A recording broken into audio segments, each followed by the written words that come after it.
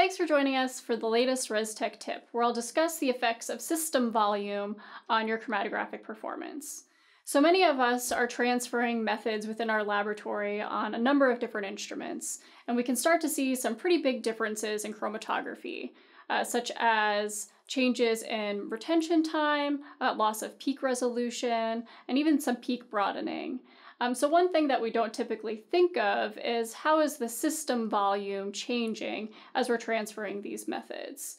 So even if we look at a difference of only about 20 microliters, we can start to see some pretty significant impact uh, to the chromatographic performance between two instruments. Loss of resolution, changes in retention time are all things that we necessarily don't want as we're transferring these methods.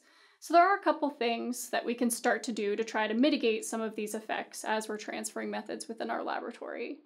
So one place that I like to start is really with our connections. So making sure you have tight connections um, throughout your entire system and also into your column is really going to reduce some additional system volume.